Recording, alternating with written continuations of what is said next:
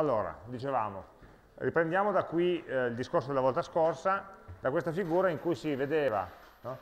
nella parte qua a destra, che eh, le pagine HTML, cioè i contenuti delle, dei siti web così come vengono visti dagli utenti, sono in realtà generati da un software che è la vera e propria applicazione web che stiamo costruendo. E avevamo visto, dato un'occhiata, quali erano i linguaggi di programmazione più utilizzati, dicendo che ovviamente queste statistiche dipendono dal contesto in cui sono eh, colte. Ehm, se vogliamo c'è solo una, un altro piccolo cenno che di questi linguaggi alcuni esistevano già, eh, ma altri, molti altri, sono stati inventati apposta per il web. Ad esempio PHP è, un, è un linguaggio che è stato inventato nel campo del web e prima non esisteva, a differenza di Java che invece è un linguaggio che ha una sua storia, una sua esistenza indipendentemente dal web che poi ovviamente è stato anche adattato e usato per le applicazioni web. Eh, tra l'altro Java ha una caratteristica particolare che eh, definisce, è uno dei pochi casi, in cui viene definito in dei documenti diciamo, indipendenti, standard, quali sono le librerie no, che si usano per sviluppare applicazioni web, ma non, viene, non ne viene fornita eh, direttamente un'implementazione da parte del fornitore, diciamo, della virtual machine Java, che in questo caso è Oracle. Cioè ci sono delle specifiche che dicono ehm, l'architettura Java Enterprise, per farvela breve, è composta di questi moduli, di queste librerie, di questi package, eccetera, eccetera. E ci sono dei tomazzi così, 200 pagine, che vi spiegano quali sono le librerie. Ma non ve le implementano. Poi ogni venditore può implementare queste classi e vendervi la loro libreria che è compatibile con tutte le altre perché tutte queste implementazioni dell'architettura dell Java Enterprise devono essere conformi rispetto alle specifiche. Per cui vediamo che le stesse applicazioni Java possono girare su delle librerie sottostanti che o sono, in questo 50% più in alto, librerie eh, open source, questo progetto si chiama Tomcat, che è un'implementazione libera, gratuita di queste librerie. Oppure ci sono una serie di altri eh, application server, si chiamano, che sono sviluppati da altre aziende, qui in mezzo c'è ancora qualcosa di, di open source, eh, altrimenti Glassfish è il container della Oracle, WebLogic è quello eh, del, no, WebSphere è quello dell'IBM, sì, IBM e così via. Quindi eh, ci sono una varietà di implementazioni diverse che sono eh, relativamente equivalenti dal punto di vista delle funzionalità, ma poi a livello architetturale siete voi che dovete scegliere se andare verso un prodotto open oppure verso un prodotto commerciale che fa la stessa cosa, ma magari, beh, sicuramente costa di più, ma magari offre già un certo tipo di supporto, un certo tipo di tool eh, di ausilio e cose del genere. Quindi l'ecosistema Java è più complesso per questo motivo, mentre gli altri linguaggi, in realtà c'è chi ha inventato il linguaggio, ne fornisce un'implementazione, quella è punto e basta. Mm? Ok, questo eh, livello logico, questa applicazione web, che deve generare le pagine, come fa a sapere che cosa metterci dentro? Cioè io scrivo un programma che mi generi, che ne so, una videata in cui posso vedere gli ultimi messaggi, Immaginiamo un'applicazione di messaggistica tra persone. Ok? Allora, eh, il software può generare il titolo, la pagina, l'incolonna, la lista, eh, la tabellina nella quale compariranno i messaggi, ma il contenuto vero e proprio dei messaggi. Come fa un software a saperlo? Beh, deve andarlo a leggere da qualche parte in cui questi contenuti di questi messaggi siano effettivamente memorizzati. E questi sono, qua, dove siamo? Eh, e questo è il compito di una base dati, uno o più basi dati che memorizzano e gestiscono le informazioni su cui, i dati, no? su cui questo sistema informativo lavora. Quindi è il compito principale della base dati, cioè un, un posto, un luogo in cui i dati sono memorizzati e una serie di diciamo così, metodi per poter interrogare o modificare questi dati. Mm?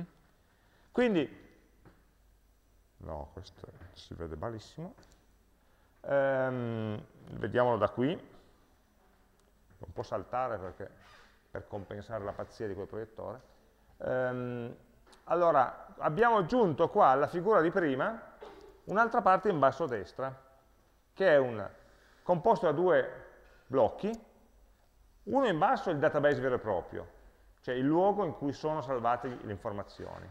Il database ovviamente viene gestito da un DBMS, da un software, che è un database management server, che ne so, voi siete abituati a usare dagli, dagli corsi degli scorsi anni eh, MySQL, oppure MariaDB, oppure OracleDB, eccetera. Questo è il livello di database server, è un software che accetta delle query in linguaggio SQL e attraverso le sue ottimizzazioni è in grado di interrogare la base, la base dati vera e propria, che è un file, una serie di file che noi non possiamo toccare direttamente, e restituisce, e restituisce i risultati.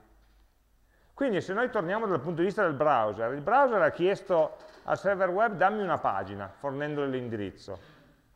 Il server web dice, ah bello, questo utente vuole una pagina, però questa è una pagina dinamica. Quindi io server web non so, non ce l'ho la risposta, devo passarla all'applicazione web, alla web application, che è il software che a questo punto saprà che pagina generare. Questo è in grado sicuramente di generare la pagina, ma, eh, ma ci mette dentro questa pagina dei dati che va a prendere dal database interrogando il DBMS con una o una serie di query SQL.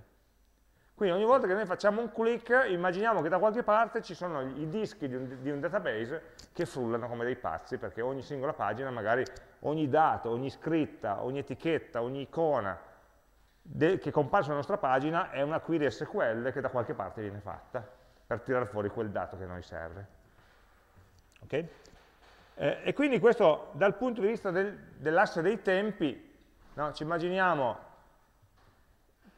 che l'utente al tempo 0 clicca su un link, questo fa partire una richiesta HTTP dal tempo T1 che viaggia fino al tempo T2 e arriva a questo punto al server web, ok? Quel pacchetto HTTP che abbiamo visto la volta scorsa, arriva fino al server web, il server web lo analizza e decide io non so rispondere, perché è una richiesta di una pagina HTML dinamica e non è una richiesta di un file statico come potrebbe essere un'immagine ad esempio. E allora questa richiesta la passo da T3 a T4 all'application server. Dentro l'intervallo di tempo tra T4 e T5 l'application server fa girare il programma scritto dall'utente, scritto da noi che facciamo il sistema informativo.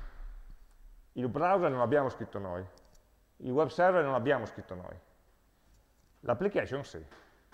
E questa application per poter lavorare dovrà fare una Qui ho fatto più frecce per indicare che magari per, per costruire una pagina mi serve anche più di un'interrogazione fatta al database. Uno per il titolo, per i messaggi, per il mittente, per l'iconcina della faccia del mittente, eccetera, eccetera. Per sapere qual è l'ultimo momento in cui è stato online, dice è eh, online dal 20 e 30 di ieri sera. E quello è un dato che posso ottenere ma devo fare un'interrogazione. Quindi per ogni singola pagina i vari dati, i vari elementi, le varie informazioni che vado a piazzare nella pagina nei vari punti arrivano da altrettante query fatte al database. Quando poi l'application server ha tutti i dati che gli servono, crea un bel file che è la pagina HTML e lo rispedisce indietro a chi gli ha richiesto che è l'application server, il quale lo rispedisce indietro al browser, il quale lo riceve e lo visualizza per l'utente. Poi lo visualizza non subito perché poi dovrà andare a reperire le varie immagini, avete, ci ricordiamo la volta scorsa che una singola richiesta HTTP scatenava in realtà una ventina di altre richieste secondarie per andare a recuperare no, le informazioni aggiuntive. Ehm, a questo punto a T9 la richiesta è finita. L'utente ha di fronte a sé una bella pagina web, dimentichiamo per un attimo il caricamento delle immagini, eccetera, ci pensa, la guarda, la studia, a un certo punto farà un clic da qualche parte e il processo riparte da capo a T0'. Uguale, identico, ogni volta uguale. Hm? Eh, io la, la, linea T1, T2, se guardate l'ho fatta più ripida rispetto alla linea T7, T8, che invece è meno inclinata, per indicare che do, no, solitamente la risposta è più lenta della richiesta a viaggiare, per il semplice motivo che è più grossa. No? La richiesta abbiamo visto che il pacchetto HTTP request sono 10 righe, 200 byte, la risposta sono magari kilobyte, decine di kilobyte di HTML, più tutte le immagini di corredo.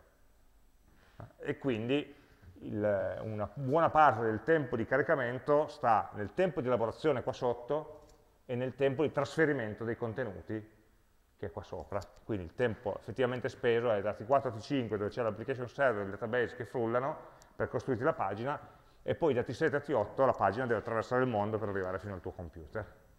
Se poi un computer è particolarmente lento e la pagina è particolarmente complicata, beh, il tempo T8, T9 è il tempo in cui il tuo browser fatica per disegnare la pagina. Questo tanto per eh, vedere a livello macroscopico che cosa succede. Quindi questa è l'architettura del web, dicevamo al volo la volta scorsa, 1995, 94, 95, in quegli anni lì. Qual è il difetto? Quello che oggi percepiamo come difetto? E beh, che io faccio clic, mi arriva una pagina. Poi faccio un altro clic, mi arriva un'altra pagina. Poi se risco un dato, faccio invia, mi arriva un'altra pagina.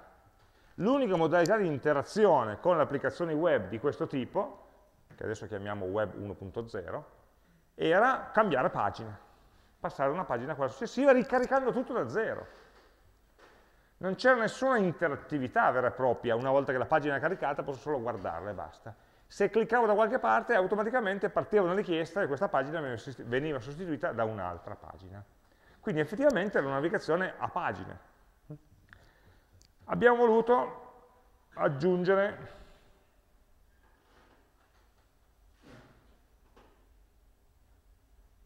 io ho aggiunto una slide che non vedo più.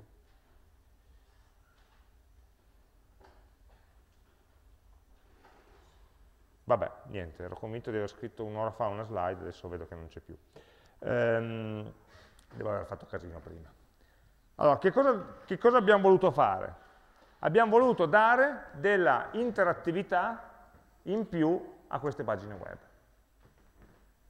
E questo l'abbiamo fatto attraverso un linguaggio che si chiama JavaScript. Cosa è successo? Allora, immaginate di essere qua sulla sinistra, l'utente che è di fronte a una pagina web e noi vogliamo su questa pagina web fare qualche effetto interattivo, che ne so, il menu che si apre, che si chiude, delle immagini che a carosello no? si alternano, come usuale in molti siti oggi. Oppure anche solo il fatto che eh, non posso premere il bottone login se non ho inserito il, mio, il, mio, il mio login name e la mia password. Allora, questo vuol dire che la pagina web si deve comportare in modo non standard. Il browser in HTML dà già un comportamento alle pagine, fornisce già a ogni elemento della pagina un certo comportamento. Una casella di testo è qualcosa in cui ci posso scrivere. Un bottone è qualcosa che posso cliccare sempre, perché è un bottone e quindi lo posso cliccare. Ma io dico di più, io voglio che quel bottone sia cliccabile solo se qualcuno ha scritto qualcosa nella casella di testo, se no quel bottone non lo voglio rendere cliccabile. Quindi voglio dire al browser, sì, su questa pagina HTML fai le cose che devi fare, ma in più fai dei controlli in più, fai delle azioni in più. Come faccio a dirgli? Il browser non l'ho mica fatto io. Il browser è un prodotto standard, tra l'altro l'utente può installare il browser che vuole. Per farlo io vado a dotare la mia pagina HTML di un programma scritto in un linguaggio apposito, JavaScript, che è dentro la pagina, cioè è associato alla pagina viene richiamato dalla pagina, quindi io, autore della pagina, scrivo la pagina HTML, ma scrivo anche il codice JavaScript che è in grado di dare delle funzionalità in più a questa pagina. Quindi fa parte della mia applicazione che implemento. La differenza è che questo codice JavaScript non viene eseguito dal server qua nella colonna di destra, ma viene spedito al browser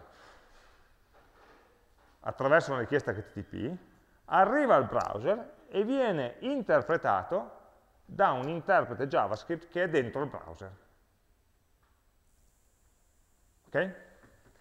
Quindi, quando io vado su una pagina, clicco, mi arriva l'HTML, l'HTML dentro di sé richiama le immagini, e va bene, e anche l'HTML richiama dei file JavaScript. Questi file JavaScript sono dei programmi, scritti in questo linguaggio, E questi programmi vengono scaricati dentro il mio browser e il browser li esegue.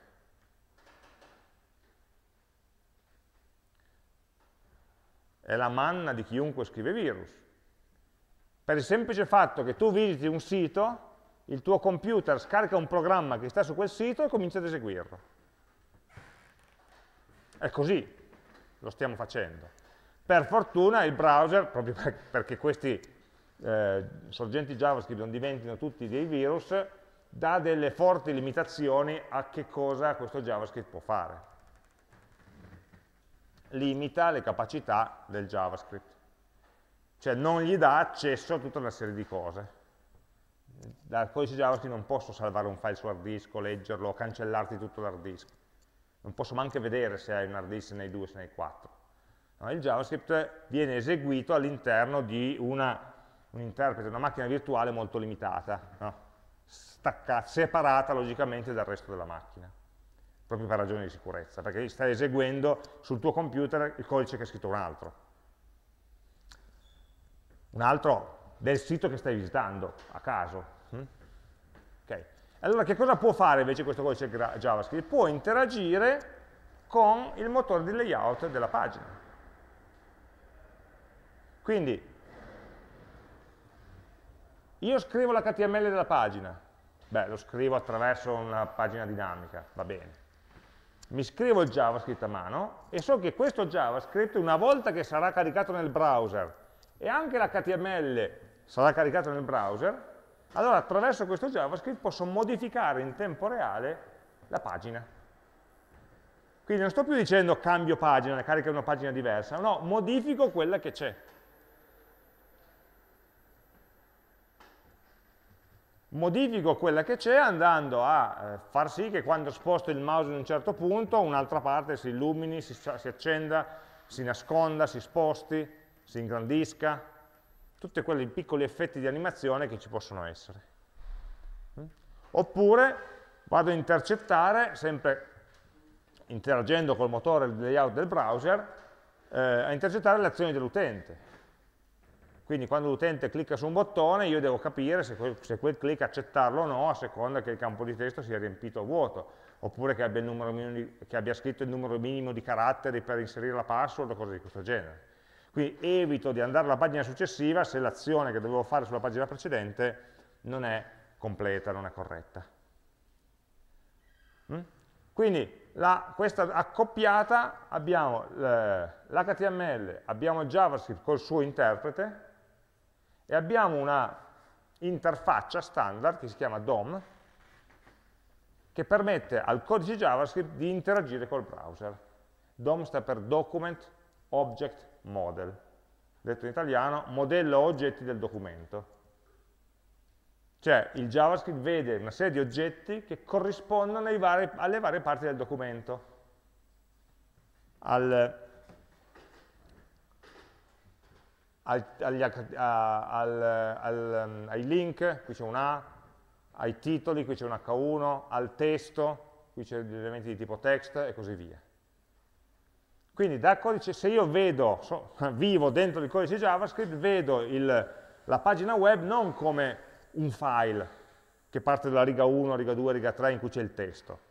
No, questo file è già stato analizzato dal browser, ha già fatto il grosso lavoro di capire come è fatto, e mi dà già un accesso più articolato ai contenuti della pagina, sotto forma di albero di oggetti. Adesso qui non entriamo nella programmazione, quindi non ci interessa più di tanto. Questo albero DOM è standardizzato, nel senso che tutti i browser ti offrono la stessa vista standard della stessa pagina HTML. Quindi se io ho un programma scritto in JavaScript e, ehm, e, lo, e visito quella pagina web con eh, Firefox, Firefox prenderà l'HTML, si costruirà i suoi oggetti interni che non so, non vedo, non mi interessano, per poterla visualizzare, ma poi costruirà un albero di oggetti DOM a uso e consumo del codice JavaScript. Se io la stessa pagina la carico con Google Chrome, Google Chrome farà la stessa cosa, internamente lavorerà in modo sicuramente diverso, ma costruirà un albero DOM che è esattamente lo stesso, o quasi, 99% quasi, eh, identico a quello che mi ha costruito Firefox. In modo che lo stesso codice JavaScript, che viene eseguito in due browser diversi, in due contesti diversi, in realtà si trovi di fronte alla stessa rappresentazione semplificata ed astratta della pagina HTML. Oh, è un gran casino mettere d'accordo tutti, ovviamente, qua. È, o è stato, perché poi a ciascuno voleva dare la sua estensione, ma al DOM aggiungo questo attributo, aggiungo questo campo, ma al JavaScript aggiungo una potenzialità in più, eccetera. E quindi eh, c'è sempre una costante tensione tra, chi, tra i produttori di browser che per aumentare l'uso del proprio browser, vendere di più, cercano di aggiungere delle funzionalità nuove in più. Ma queste funzionalità nuove prendono piede solo se chi crea le pagine web e chi scrive i programmi JavaScript le usa queste funzionalità nuove in più. E chi scrive le pagine web e il codice JavaScript le usa solamente se è sicuro che quella funzionalità funzioni poi su tutti i browser, non solo su quello ma per funzionare su tutti i browser, tutti i browser devono implementarle, quindi devono essere standardizzate e quindi il tuo vantaggio competitivo nell'inserire qualcosa di nuovo va un pochino a farsi friggere. Quindi c'è una competizione barra collaborazione basata su una serie di standard che ciascuno spinge avanti, ricordate quelle frecce della, prima, della volta scorsa, no? tante tecnologie che vengono via via aggiunte da qualcuno e subito tutti gli altri le accolgono o non le accolgono. Se per caso qualcuno aggiunge una tecnologia e tutti gli altri gli fanno una pernacchia, quella tecnologia è destinata a morire, perché non c'è per fortuna il monopolio dei browser. Qualcuno ci ha provato, non ci è mai riuscito. Okay? Quindi questi per carità sono discorsi tecnici ma, su, sul DOM, ma dietro no, l'evoluzione del web è, diciamo così, ha delle dinamiche più di mercato che sono legate a filo doppio col, col modo con cui diciamo, tecnicamente il web è realizzato. C'è ancora un passo da fare. Quindi, finora cosa siamo riusciti a fare? Beh, siamo riusciti a fare quelle cretinate che ci sono, che ne so, sulla pagina del Politecnico, no? Dico cretinate perché non servono a niente. Cioè, se tu ti sposti qua, compaiono o scompaiono delle cose. Se tu clicchi qua e non è scritto niente, beh, purtroppo questo non succede, ma potrebbe evitare di, fare, di andare alla pagina di ricerca. Se tu clicchi ok scompare questo campo e così via. Piccole animazioni sulla pagina. Piccole, cose semplici, evidenziazioni, figure che in questo caso, non so perché la figura hanno messo questa, non cambia, si vede che non avevano niente di nuovo da dire, va bene. Vogliamo ancora fare due passi avanti, vogliamo. Stiamo percorrendo la storia, quindi abbiamo voluto ancora fare due passi avanti. Il primo passo è ehm, facilitare la fruizione della stessa pagina, dello stesso sito, in più contesti diversi. Voi non vi ricordate, ma nel, in quegli anni lì, 95, 98, 99, era normale per un sito web che da qualche parte al fondo ci fosse scritto la, la, la risoluzione consigliata per vedere questo sito è 800x600 o 1024x768. Cioè questo significa che gli autori del sito avevano progettato il sito per una certa risoluzione. Se tu avevi uno schermo più grande o più piccolo, ti attaccavi oppure vedevi il sito storto, oppure vedevi il sito tutto piccolo e poi bianco a destra, oppure non ne vedevi dei pezzi, dovevi continuare a fare scrolling avanti e indietro. Allora questo ovviamente non è accettabile, a maggior ragione quando si sono cominciati a diffondere 2000-2001 i dispositivi mobili, tra cui potevi navigare sul web. E ogni dispositivo mobile che veniva tirato fuori aveva una risoluzione diversa. Allora, chi progettava i siti doveva smettere di pensare come se stesse progettando una brochure di carta in cui dice so, so a priori le dimensioni e doveva cominciare a pensare in modo flessibile software. Quindi il sito, quando si trova in un browser, in quel momento scopre qual è la sua risoluzione e quindi la pagina si deve adattare alla risoluzione che ha a disposizione e al dispositivo che ha a su un PC, su uno smartphone, su un tablet, il sito si vede in modo diverso. Non è per magia, è perché chi ha creato il sito lo ha predisposto perché si adattasse a contesti diversi. Per far questo è stata introdotta un'altra tecnologia che si chiama CSS, Cascading Style Sheets, eh, che è un metodo per permettere, un altro linguaggio, se vogliamo, per permettere a chi definisce una pagina web, uno, di definire dei layout complessi, perché con l'HTML non si riuscivano a fare cose molto complicate, di tipo cose su tre colonne che scorrono indipendentemente, eccetera, in HTML non si potevano fare. O quando ci riuscivi eri poi vincolato esattamente al numero di pixel e quindi facevano pena. Ma questi layout complessi si adattano a diverse risoluzioni, si possono adattare a diversi dispositivi, si possono adattare a diverse preferenze, se hai il sito che dice vuoi, vuoi lo schema di colore chiaro o scuro, a seconda di come preferisci, possono adattarsi a diversi media, per cui a volte, no, anche, so, magari stai guidando, immagina un'applicazione che fa il navigatore, o ti fa vedere la mappa, oppure te la legge, no? ti dice anche, quindi eh, testo, audio, ehm, video, che possono comparire l'uno oppure l'altro a seconda dei contesti. Tutto questo sempre in modo standard, cioè implementato e supportato da tutti i browser. Tutti i browser, anche quelli mobili. Okay? Allora cosa vuol dire? Vuol dire che quando io progetto una pagina non posso pensare alla ah, versione web e la versione mobile. Perché web sono mille versioni diverse, da chi ha, che ne so, il Mac ultima versione con risoluzione 100 miliardi di pixel, a chi ha invece il, lo smartphone eh, scarsissimo da 80 euro che ha 22 pixel in tutto, o giù di lì, e, non puoi pensare a tutti i dispositivi che stanno lì in mezzo e per ciascuno pensare a un adattamento dell'interfaccia. No, devi dare delle regole generali. Del tipo, se la risoluzione X è minore di tot, il menu non mostrarlo in alto, ma mostramelo a scomparsa. Se prendete un sito e andate sul sito mobile, di solito il menu non, non che nel sito web compare in alto, nel sito mobile, eh, mobile non esiste. Di solito c'è un bottoncino per farlo comparire. Quel bastardo di bottoncino con le tre righette orizzontali che dici, ma che caso sono queste tre righe?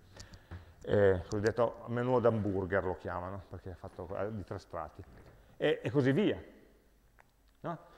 Allora, chi ha progettato il sito ha messo delle soglie dicendo al di sotto di una certa risoluzione l'immagine non la faccio più vedere, o ne faccio vedere una versione ridotta. Oppure, che ne so, la, la parte che dice ultime novità non interessa, non la faccio vedere, perché tanto l'utente dovrebbe scrollare giù talmente tanto che non interessa, eccetera, eccetera. Quindi do delle regole applicate alle diverse parti di una pagina. Una, parte di, una, una, pagina, una parte di pagina può essere spostata o nascosta o, o visualizzata in un modo diverso a seconda delle caratteristiche del dispositivo in cui viene visualizzato. E questo si fa attraverso un linguaggio dichiarativo, in questo caso, che dice per ogni parte della pagina espresse attraverso un sottolinguaggio di selettori, non ci interessa non impararlo, applico certe regole, certe regole che si chiamano dichiarazioni. E la dichiarazione va a impostare una proprietà di quell'elemento a un certo valore e le proprietà degli elementi sono 200 o più, l'elenco completo che controllano ogni singolo dettaglio, dai margini, dai fondi, dai colori, dal fatto che sia visibile o no, che sia più grande o più piccolo, che sia allineato a destra o a sinistra, che stia davanti o dietro, tutto. Mm? Lo spessore del bordo, eh, il fatto che sia comparso o non comparso, quindi visibile o nascosto, eccetera, eccetera. Quindi attraverso queste regole, che poi sono personalizzabili, dicevo, rispetto alla risoluzione del, del device, abbiamo la possibilità di creare dei layout complessi e, ehm, e adattabili, che si adattano da soli.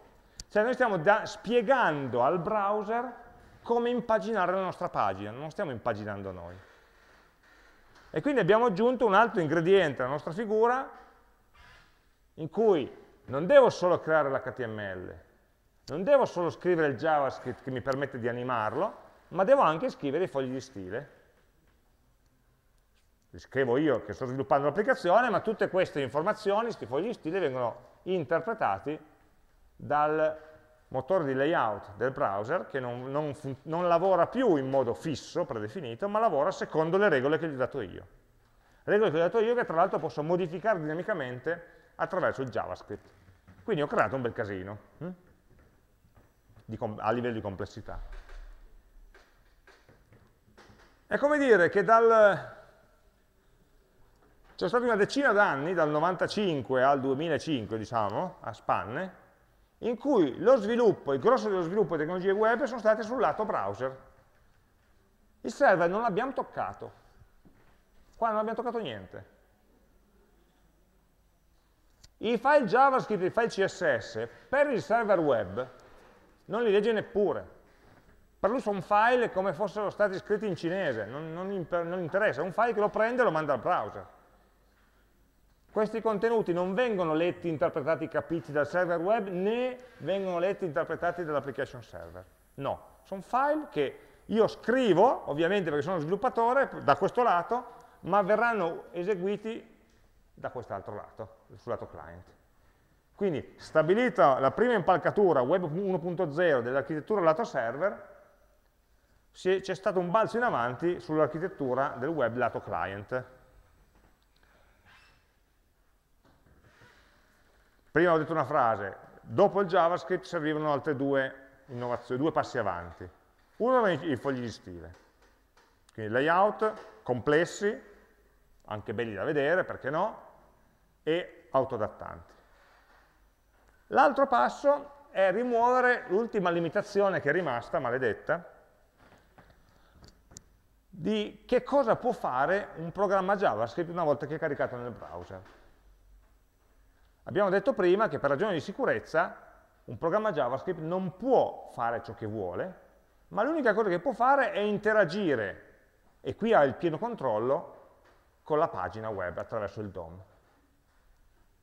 Quindi una cosa molto semplice che oggi c'è dappertutto e noi diamo per scontato, l'autocompletamento. Quando cominci a scrivere le parole lui te le completa. Non si può fare così, con questa architettura, non si poteva fare dieci anni fa, siamo nel 2005, 2008. Perché non si poteva fare? Perché il codice JavaScript che gira qua, quando io scrivo sys, SIS, come fa a sapere che sistemi informativi è la parola che volevo scrivere? Tu dici, eh vabbè, va a cercare in un dizionario. Sì, ma dov'è il dizionario? E qui non può starci. Il browser non ce l'ha il dizionario di tutte le parole che io vorrei scrivere, o le parole che ho scritto in passato, le parole più frequenti presenti sul sito, l'elenco dei miei prodotti, i modi in cui si possono chiamare, un dizionario di parole. Perché? Perché il JavaScript può solo leggere e scrivere ciò che c'era nell'HTML. Allora o decido che ogni volta che un utente clicca su una pagina HTML gli scarico oltre all'HTML anche 3 megabyte di dizionario ogni volta, ma non è ovviamente praticabile, oppure devo permettere a questo maledetto JavaScript di poter leggere qualcosa che sta qua, nei dati, nel database, perché non ho nessun problema a mettere un dizionario di parole con le frequenze, con le preferenze, eccetera, dentro il database. Il problema è che devo permettere al sorgente JavaScript in qualche modo di leggere, almeno leggere, ma poi magari anche modificare, dei dati che stanno al di fuori del browser o al di fuori del browser, ma non sul computer dell'utente, perché altrimenti ho creato il virus. Devo permettere a un codice JavaScript che è prigioniero di un browser di poter comunicare con l'application server, che è della stessa famiglia. Il JavaScript l'ho scritto io, l'application server l'ho scritto io. Quindi se faccio casini faccio danni solo a me stesso hanno inventato un meccanismo per far questo. Adesso vi faccio vedere la figura, poi torniamo indietro a commentarla. Hanno aggiunto alla libreria JavaScript una chiamata che si chiama XML HTTP request, ma non ci interessa, che permette al motore JavaScript, cioè al codice JavaScript che gira nel browser, di fare delle chiamate web in più. Che non sono le chiamate web che fa il browser get dammi una pagina nuova, ma di nascosto, dietro le quinte, la nostra pagina web fa delle chiamate al server, chiamate vanno, la cui risposta non torna al browser, quindi non cambia pagina, la cui risposta torna al codice JavaScript che l'ha fatto. Quindi oltre alla serie di chiamate web, che, la chiamata HTTP che sono già state fatte per caricare la pagina, dopo che la pagina è caricata, il JavaScript può fare delle altre. C'è una limitazione, di nuovo per motivi di sicurezza, può fare solamente allo stesso server da cui era stato scaricato il JavaScript, quindi le può fare a se stesso, può telefonare a casa. E quindi questo permette di dire, guarda che l'utente ha scritto sys, come si può completare sys? Questa è una chiamata HTTP che va al web server, il quale passerà all'application server, che avrà una funzioncina per rispondere apposta alla domanda come si completa questa parola. E lo farà facendo una query del database. Possiamo crederci o no, ma se andiamo su Google e attiviamo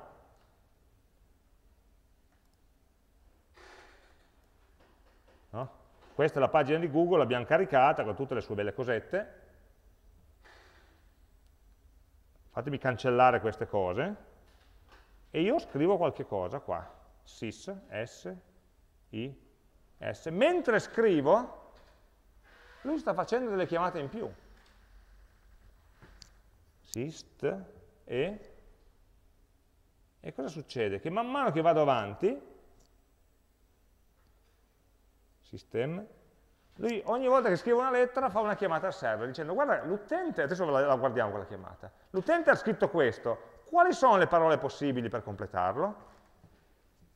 E la chiamata è semplice, nel senso che lui dice, ehm, questa è la URL che è stata chiamata, google.it slash complete, cioè la funzione di autocompletamento, e dà un po' di cose, tra cui a un certo punto ci sarà scritto system. Eccolo qua. Non, non si legge perché il videoproiettore vi odia, ma qui c'è scritto Q uguale system, che è esattamente ciò che io ho scritto in quella casella di testo, sopra, in alto. Quindi quando ho scritto la M, lui ha fatto una richiesta chiedendo il JavaScript di Google, ha chiesto al server di Google, senti, ma l'utente ha scritto system, come si può completare? E il server di Google ovviamente ha dato una risposta dicendo, bah, si può completare con A, ATS, A Piemonte, System A Solare, System A Puglia, System A solar, System A nervoso e così via. E tutte queste informazioni che il server di Google ha risposto, il JavaScript se le ha puppate e attraverso i CSS ha creato, ha creato questo riquadro e dentro questo riquadro ci ha messo queste scritte. Quindi ha modificato dinamicamente la pagina web sulla base dei dati che ha appena acquisito dal server, interrogandolo in questo modo. Quindi ogni volta che noi tocchiamo qualcosa, ci spostiamo dentro una pagina web di quelle moderne, la pagina, per sapere cosa fare, molto spesso va a chiedere al server. Per fornire queste funzionalità, che quindi permettono di avere dinamicità nella pagina, quindi interazione eccetera, ma potendo, potendo accedere a tutte le informazioni che ha il server. Adesso qui uno dice, ma sì, ma perché non potremmo mettere un dizionario di tutte le parole dentro il browser o dentro il computer? Eh, forse per questo caso sì, per la ricerca sì, ma se immaginate il completamento di quando io scrivo l'indirizzo di mail di, una, di, un amico a cui devo mandare il messaggio, lui deve farlo sui miei amici, non su tutte le mail del mondo. No? Quindi deve proprio essere il mio server che mi dà questa informazione. Beh, questa è la funzionalità più semplice, 2008-2009 è stata introdotta da Google, e ha aperto il mondo a un nuovo livello di dinamicità del web, che è quello che adesso chiamiamo web 2.0, che diamo per scontato sempre. In cui carico una pagina web e quella pagina web si cresce, si incrementa man mano che la uso, senza mai cambiare. Sulla pagina rimango sempre la stessa. Se voi andate a vedere, che ne so, Twitter è un esempio terribile, se voi andate a vedere la pagina Twitter è vuoto l'HTML, non c'è niente. C'è un JavaScript che, che, carica tutto, tutti i vari pezzi. L'HTML che, che arriva da twitter.com è vuoto praticamente, è una pagina bianca. e poi tutto ciò che c'è dentro è stato poco per volta preso, costruito dal JavaScript nella pagina andando a fare una serie di richieste di questo genere. Queste richieste sono, appunto in gergo, si chiamano richieste di tipo Ajax, come detersivo, eh, in realtà sta per Asynchronous JavaScript and XML, cioè chiamate in JavaScript asincrone, asincrone perché sono indipendenti rispetto al cambio pagina, eh? vanno su, una, su dei tempi loro. E quindi questo è il pezzo in più che in qualche modo collega le innovazioni lato browser con il lato server no? e permette di creare nuove tipologie di applicazioni. Allora, torniamo indietro a vedere le tecnologie. Allora, qui ho trovato da Wikipedia una tabellina che dice per i siti web più visitati al mondo, Google, Facebook, YouTube, Yahoo, Amazon, Wikipedia, Twitter, Bing, eBay, MSN, Microsoft, LinkedIn, Pinterest e WordPress, tutta roba da 200, dai 200 ai 1600 milioni di persone al, eh, al mese, persone diverse, che cosa usano come linguaggi? Allora, che cosa usano come linguaggio sul client, sul browser? JavaScript. Tutti, per forza. È l'unico che il browser supporta. Il browser supporta JavaScript, punto. Quindi il lato client, che linguaggi usi? JavaScript. Bon. Ci ha provato la Microsoft a un certo punto a mettere dentro Internet Explorer il Visual Basic. Quindi, quindi tu potevi programmare un'applicazione web lato client o in JavaScript o in una, eh, si, una cosa, un linguaggio che si chiamava VBScript, che era Visual Basic Script dentro la pagina. Eh, non so se l'hanno usato loro, non l'ha usato nessuno, è morto subito come è nato. No, non è vero, in alcuni contesti è stato usato soprattutto per applicazioni internet dedicate, perché poi si legava molto bene a Internet Explorer, ma erano contesti molto limitati, non è sopravvissuto al tempo e all'incedere della tecnologia. Quindi questo è e sarà per almeno altri dieci anni. Quello che si sta facendo è rendere l'interprete JavaScript dentro il browser sempre più veloce, sempre più potente.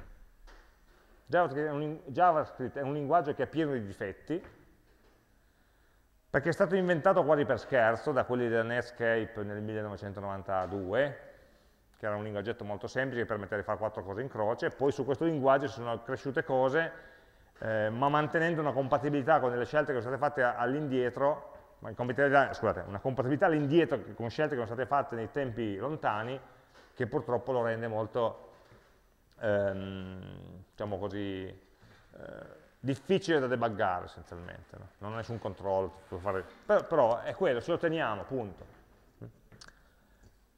Invece, lato server, ognuno fa ciò che vuole. Perché ognuno fa ciò che vuole? Perché l'unica comunicazione che c'è tra client e server è sul protocollo HTTP. Sul protocollo HTTP viaggiano dei file, file JavaScript, file CSS, immagini e HTML. Come venga generato quell'HTML non ci interessa. E quindi chi vuole, che so, Google, eh, al lato server dichiara di usare C, C++, Go, Java e Python. Un miscuglio di tecnologie, di linguaggi per fare dei vari pezzettini. Facebook usa PHP modificato da lui, Python, C++, Java e un altro paio di linguaggi come esoterici come Erlang, D, Haskell, che usano in pochi. YouTube usa C, C++, Python, Java, Go, e ovviamente YouTube e Google sono della stessa famiglia, quindi usano le stesse cose. Yahoo usa PHP, Amazon usa Java, C++ e Perl, e così via. Wikipedia usa PHP, è un altro linguaggio, Hack, che non conosco, non so neanche cosa sia. Twitter usa C++, Java, Scala, che è un linguaggio che si monta su Java, Ruby on Rails, che è un altro framework basato sul linguaggio Ruby, e così via. Ma ognuno eh, fa le proprie scelte architetturali sul lato server. Mentre sul lato client sei bloccato, sul lato server fai ciò che vuoi. E così sul lato server c'è l'application server, e qui c'è l'elenco dei linguaggi con cui l'application server è stato programmato, e l'ultima colonna ci fa vedere l'elenco dei database che sono stati utilizzati. Cioè il DBMS, cosa ho scelto come DBMS? È E, ad esempio Google usa MariaDB e poi Bigtable, MariaDB che sarebbe MySQL, e Bigtable che se lo sono fatti loro in casa. Eh, Facebook usa una combinazione di quattro database diversi, tra cui Cassandra che hanno contribuito a sviluppare, poi MariaDB, MySQL, eccetera, e così via. Postgres, Oracle, MySQL, MariaDB, Microsoft SQL Server, la Bing ovviamente la Microsoft usa quello, eBay usa Oracle, eccetera, eccetera. Quindi lato server ciascuno crea le proprie architetture.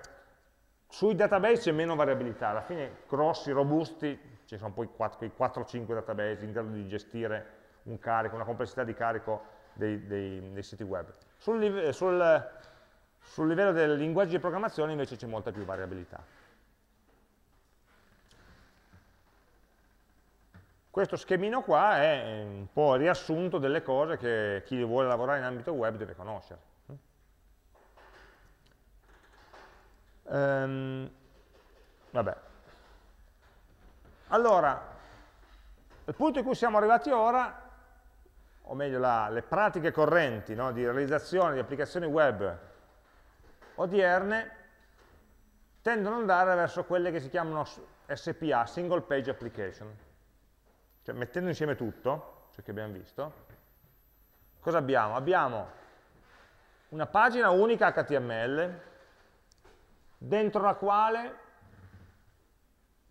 sono nascoste, sono scritte in JavaScript una serie di cose, una serie di librerie che ovviamente usano il DOM sotto e parlano con un server web in continuo.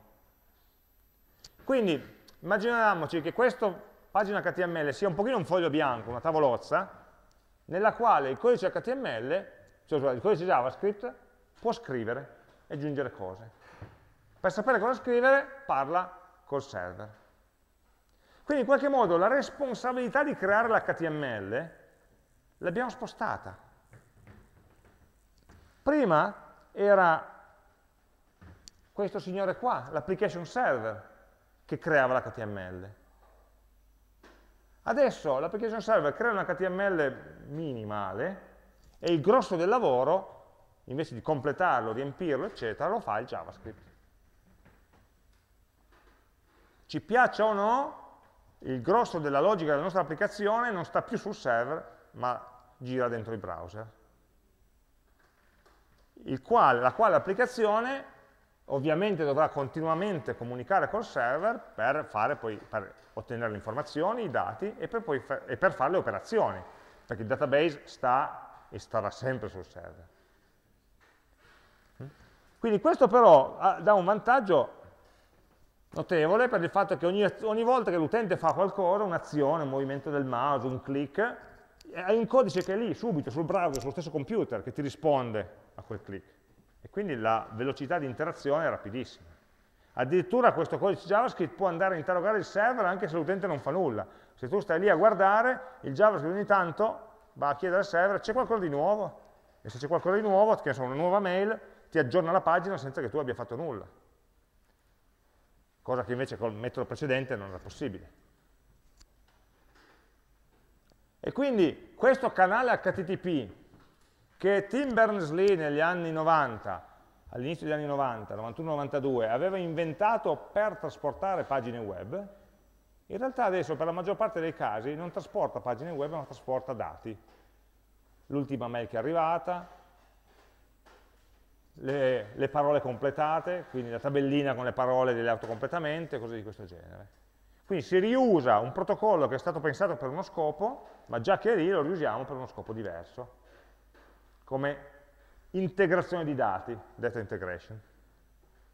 Sempre usando il protocollo HTTP, poi ci sono dei nuovi protocolli, ad esempio Speedy lo sta lanciando Google con successo intermedio, WebSocket invece è uno standard che ti permette di mantenere una comunicazione bidirezionale, mentre HTTP è solo monodirezionale, hai uno che fa la richiesta e l'altro che risponde, mentre invece i WebSockets, aprono un canale e permettono sia al server di mandare, fare push informazioni sul browser. E la maggior parte dei dati sono codificati in un formato che si chiama JSON, JavaScript Object Notation, cioè un formato abbreviato dei dati che è compatibile con la sintassi di JavaScript, guarda caso perché ovviamente devono poi essere elaborati dal JavaScript stesso. Quindi si sono stratificati sopra, sopra questa possibilità di fare chiamate Ajax tutta una serie di tecnologie o di best practice essenzialmente ehm, di, molto diverse. Il ruolo del server non è più quello di centralizzare l'interazione, ma è quello di fornire accesso ai dati, in modo validato ovviamente, in modo controllato. Cioè, perché quando JavaScript gli dice dammi il contenuto di quella mail, il server, prima di darglielo, controlla che lui abbia i permessi di poterla vedere. Non mi posso mai fidare, anche se il mio software è scritto metà qui, metà nel server e metà nel browser, non mi posso mai fidare di ciò che fa il mio software nel browser. Perché una volta che è nel browser, chiunque potrebbe aver stoppato il browser, modificato il mio codice e, fatto funzionare una versione modificata. Quindi qualunque richiesta che arriva da qua devo sempre trattarla in modo sospettoso. Vabbè. E quindi tutta la validazione logica deve essere fatta sempre anche dal server e magari anche dal browser per aiutare l'utente a vedere gli errori prima che si verifichino. È ben complicato il mondo di adesso. Ehm, ecco, questo riassume i tre modelli vi ricordate che la prima lezione avevamo fatto vedere una figurina in cui c'era la, la, suddivisione dei vari ruoli tra client e server, eccetera, eccetera. Ecco, questa figurina qua la personalizziamo, ho trovata una nel suo stesso stile, personalizzata ovviamente sulle tecnologie web. Allora, qui ci dice, quindi proviamo a rileggere il percorso che abbiamo fatto. Versione modello 1, applicazione web di tipo classico, anni 90. Okay? Allora, abbiamo sul server abbiamo eh, business services and data, quindi i dati e la logica di business, le logiche. Cosa posso fare, cosa non posso fare, come si fa una certa operazione, che dati devo modificare e così via. E poi, questo qua in verde c'è scritto User Interface Generation, generazione dell'interfaccia utente. Sul browser c'è l'interfaccia utente che è stata generata dal server. In su ci va, la freccia che va su, c'è HTML e CSS, e la freccia che va giù sono richieste HTTP. Quindi il browser fa richiesta HTTP, qui viene fatta tutta l'elaborazione, compresa la generazione dell'interfaccia utente, questa interfaccia utente viene mandata al browser, il quale semplicemente la visualizza. Passo 2, hanno inventato Ajax. Quindi la possibilità per il JavaScript di interagire col server. Il JavaScript, finché non interagiva col server, serviva poco, era solamente per effetti di abbellimento o di, diciamo così, smussare un pochino l'interazione nella pagina, ma, ma di fatto non aggiungeva funzionalità vere. Quando abbiamo aggiunto Ajax si è aggiunto un mezzo, uno strato in mezzo qua. Perché tu hai il server web che diciamo così, la generazione dell'interfaccia utente è stata spezzata in due, una parte sul lato server e una parte sul lato client, dentro quello che qui è chiamato motore Ajax. Cioè un codice JavaScript che sfruttando Ajax può comunicare col server. I dati sono rimasti nel server, l'interfaccia utente è rimasta nel browser, queste due cose non cambieranno, ma la generazione dell'interfaccia e la logica no, la logica è rimasta sotto nel rosso, scusate, la generazione dell'interfaccia si è divisa in due. E quindi adesso abbiamo questo blocco Ajax che manda delle richieste HTTP e gli tornano indietro o dei pezzi di HTML, delle parti di pagina, oppure dei dati, dei dati grezzi sotto forma di testo, sotto forma di file JSON, cose di questo genere. Dati grezzi che ovviamente questo motore provvederà a mettere in bella e inserire nell'interfaccia utente. Il passo dopo, in cui abbiamo l'applicazione web sul client, quindi tu quando clicchi su un sito la prima volta lui si scarica una tonnellata di JavaScript e poi il JavaScript prende il controllo della pagina. E a quel punto tutta la generazione dell'interfaccia utente avviene sul browser, quindi l'interfaccia utente viene generata localmente e la, il dialogo col server avviene solamente per recuperare informazioni e ovviamente per dare dei comandi del tipo manda questa mail, salva questo messaggio, salva questo dato e così via.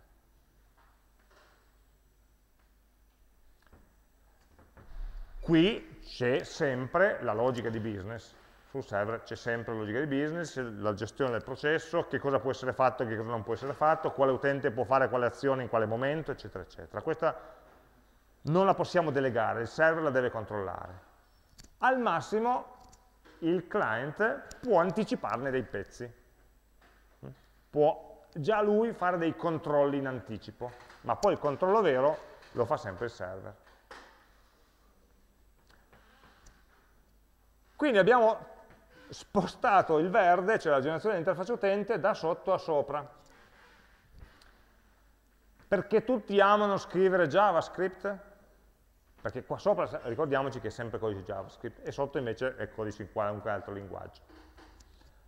Mm, forse sì, forse no, tutti amano le prestazioni, tutti amano avere dei siti web che funzionano bene, siano friendly per l'utente, eccetera, ma poi c'è un altro motivo. che qua ho un'interfaccia utente che vive ancora dentro un browser. Quindi mi serve un browser che sia in grado di interpretare tutta questa roba lì. Ma se io non avessi più un browser, ma avessi un'applicazione nativa, l'app che vi, scaricate sul cellulare, quindi qua parla ad esempio a destra un'applicazione Android, un'applicazione iOS, eccetera, rispetto al server si può comportare nello stesso modo. Qui la figura è diversa perché l'ho presa da un sito diverso. Però torniamo su questa se vogliamo. Immaginate che al posto di web browser, questa scatola grigia qua, ci sia un'applicazione Android su smartphone. Allora, un'applicazione Android, un'applicazione iOS, non sono un, un browser, non lavorano in JavaScript. Se un'applicazione iOS sarà scritta o in C, Sharp, eh, o in C Objective-C oppure in, in, Swift, che sono i due linguaggi che iOS supporta, se un'applicazione Android sarà scritta o in Java o in Kotlin, perché quelli sono i linguaggi che sono supportati, con le loro librerie, con i loro widget grafici, eccetera, eccetera. Nulla a che vedere, poco a che vedere con l'interfaccia web. Ma una volta che quell'applicazione sia in grado di fare delle chiamate HTTP e di interpretare dei dati che gli arrivano sotto forma grezza come file di testo, può, posso avere un front-end diverso su una piattaforma diversa, mobile ad esempio, che usa lo stesso identico back-end, lo stesso identico server. Per quello che ci piace tagliare così, perché lo stesso back-end alimenta tante interfacce utente diverse. Alcune web, alcune mobile e chissà cosa arriverà dopo. Adesso, la, la, la, cassa del supermercato che non è né Android né web, ma è un, una, un sistema dedicato che deve fare quelle certe operazioni, quindi ha un'interfaccia utente completamente diversa, completamente sganciata, la facciano come vogliono, purché parli HTTP e interpreti il JSON che torna indietro. E tutto il valore la logica, i controlli della nostra applicazione, del nostro sistema informativo, è rimasto qua, giustamente in cassaforte. Poi ho tante interfacce utenti diverse, ma lo dico di più, posso anche aprirla questa, questo canale di comunicazione, posso permettere a terzi di fare delle applicazioni, delle interfacce alternative aggiuntive. Queste sono alla fine poi le cosiddette API, Application Programming Interfaces, una serie di chiamate che permettono di accedere, se ovviamente hai i permessi, le, credenziali, le password giuste, permettono di accedere a tutte le funzioni di questo sito. Allora, se a te non piace l'applicazione Android che ha fatto quella tal azienda, te ne puoi fare un'altra tu. Purché usi le stesse API, ovviamente che queste siano documentate e tu possa usarle. E quindi possono nascere applicazioni che integrano altri servizi, a questo punto non lo vedo più come il sito web, lo vedo come un servizio, come un server che offre dei servizi. E quindi anche, anche dal punto di vista della catena del valore, io non sto solamente più offrendo un servizio B2C, business to consumer, in cui ti vendo un servizio e c'è l'interfaccia utente web o mobile. e allora ho un cliente che è l'utente finale che vuole usare i servizi, che vuole usare il sito. Ma la stessa piattaforma la uso anche in modo B2B.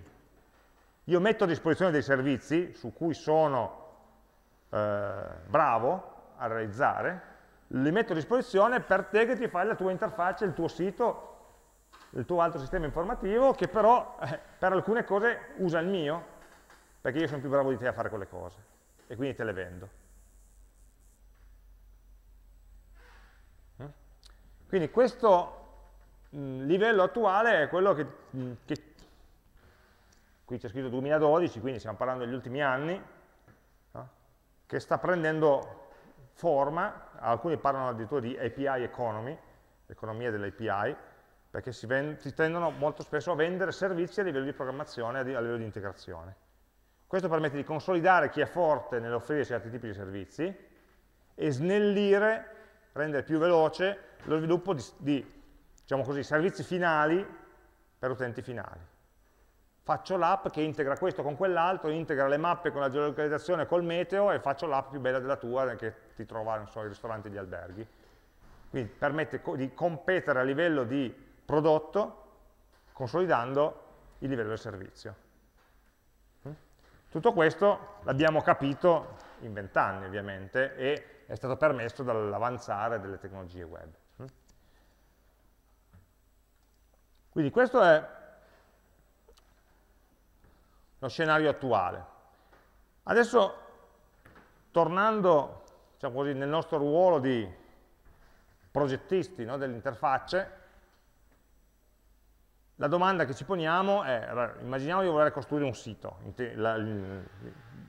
Allora, sulla parte di database, di dati e di logica di business abbiamo già dato, nel senso che abbiamo i vari modelli che lo specificano. Adesso chiediamoci sulla parte di interfaccia. Noi progettiamo una possibile interfaccia, sapendo che in realtà potremmo progettarne diverse, indipendenti che usano lo stesso servizio, che però tenga conto, quando progetteremo l'interfaccia, dovremo tener conto delle limitazioni della specifica tecnologia. Quindi se è un'interfaccia fatta così, avrà un certo tipo di interazioni possibili. Se è fatta così, avrà un, un, insieme molto più ricco di interazioni che l'utente può compiere. Se l'interfaccia mobile invece avrò altre possibilità, ma altre ne avrò in meno perché l'interfaccia mobile deve stare invece in uno spazio più limitato e così via. Quando facevamo i casi d'uso, le narrative dei casi d'uso, voi mi avete preso per pazzo quando dicevo, sì, qua, forse l'utente qua di sicuro dovrà schiacciare un bottone, ma io non scrivo l'utente schiaccia un bottone, scrivo l'utente conferma. E adesso capiamo perché. Perché l'azione utente conferma è uno di questi comandi qua sotto. Un'informazione che viaggia dall'utente, da un'interfaccia utente che seleziona l'utente, al sistema. Che poi questa interfaccia utente sia veramente un bottone su una pagina web oppure uno swipe su un'interfaccia mobile, il caso d'uso è lo stesso. La sequenza di operazioni che devo fare è la stessa. Il modo in cui le visualizzo sarà diversa. Quindi noi non lo facciamo per motivi, siamo puramente accademici, siamo puristi e quindi nel caso d'uso non ti metto nessuna parolina che ti faccia capire qual è l'interfaccia utente che vuoi in mente, ma perché davvero l'interfaccia utente ne avrò più di una. E nelle varie interfacce utente tutte dovranno seguire la stessa sequenza di operazioni, gli stessi casi d'uso, perché le informazioni che devono scambiarsi sono le stesse e gli errori che possono verificarsi, le eccezioni, sono gli stessi, indipendentemente dall'interfaccia utente che faccio. Poi ovviamente magari decideremo che alcuni casi d'uso più complicati, più articolati, li facciamo solo nella piattaforma web e non in quella mobile. Va bene. Ma se un determinato caso d'uso è implementato su più interfacce, segue la stessa logica di scambio di informazioni. Seguirà invece un approccio grafico completamente diverso. Ok? Allora, quello di cui ci occuperemo dopo la pausa e cominciare a impostare come ragionare no, sull'aspetto invece grafico e interattivo. Quindi ci vediamo tra un quarto d'ora.